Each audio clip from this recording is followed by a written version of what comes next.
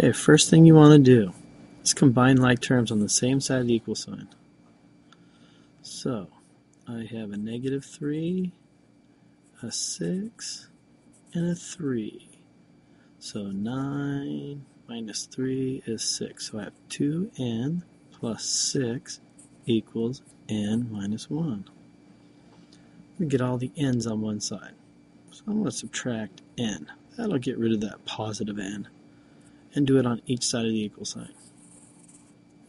So when I combine like terms on this side, he's gone. That's why I did it. Uh, 2 minus 1 gives me just the n. 1 n, we don't write the 1 because we're lazy, plus the 6.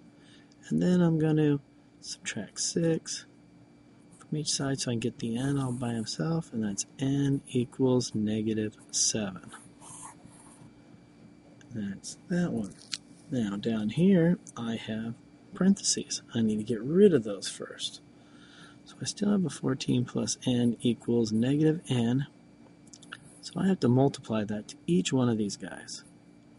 Distributed properly. Negative 3n, negative times a negative, negative times a negative is a positive 9. Combine like terms.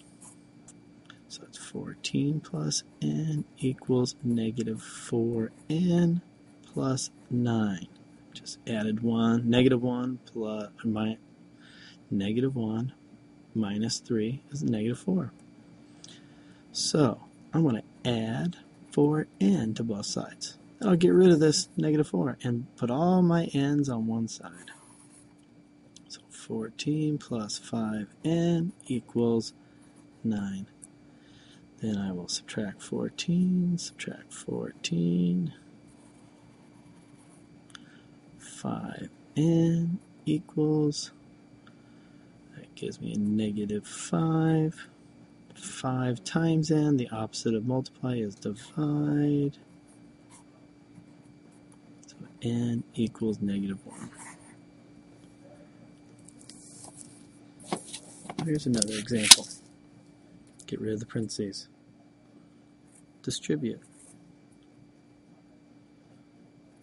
9x plus 3 times 4 is 12 equals 2x minus 9. Get all my x's on one side. I could subtract 9x or I could subtract 2x. I usually do the smaller number so I have a positive x. Doesn't matter.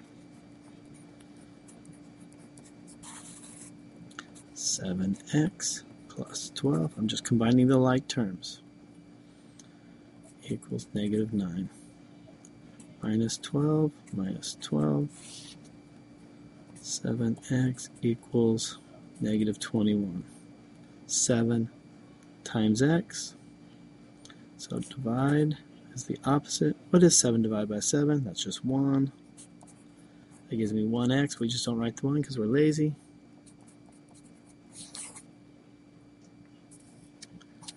Alright, so there's how you solve a few equations.